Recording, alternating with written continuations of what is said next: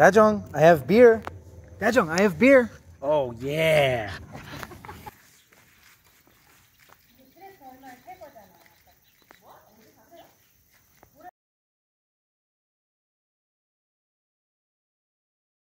Today, we're gonna give some beer to my in-laws dog, Dajeong.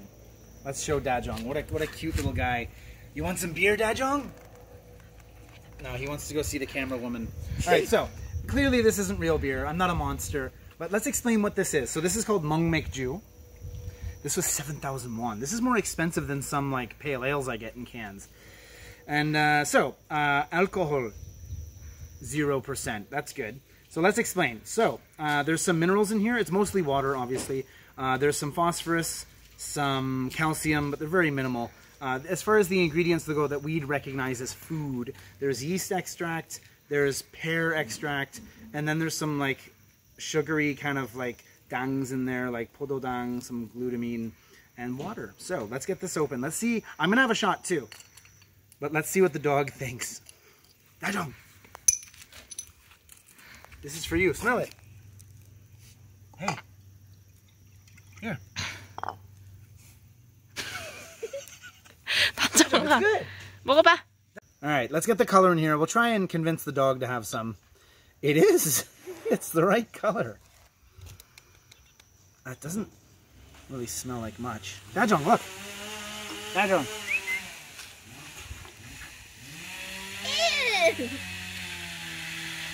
It's like a brothy pear juice. It's almost like a cross between like a Dweji Yuksu and pear juice. Hey, Dajeong, here. Ah, you can be fancy dog.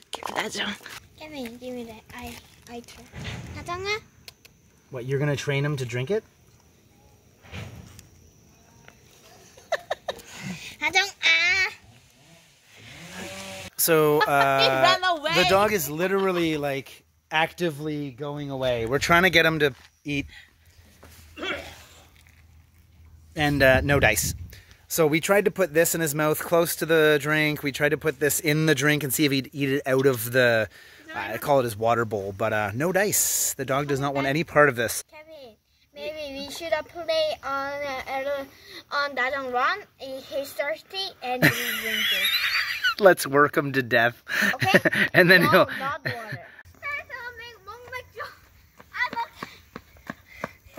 I am drinking this, and uh, let's just get some farm views while I talk about it. It really is like a brothy pear juice. Uh, it's not overly salty. You don't want too much salt in the dog's diet, but um, it's not bad. But as far as human drinks go, yeah, I, I don't like it. But it tastes. Not actually, it doesn't taste like I expected. The pear comes through, and yeah, if anyone's had like um, um, brewer's yeast, brewer's yeast that like vegans use as a B12 replacement. It has like a cheesy, salty kind of taste. It's like a cheesy, salty pear drink. Um, it's not so much salt as it is that salt that flavor from the, the, the umami of the yeast that comes through. I don't know. I don't love it. Poor guy. Oh. Oh, he just had some. So, Yeah. do you want more, Dajeong? God damn it. What a brat.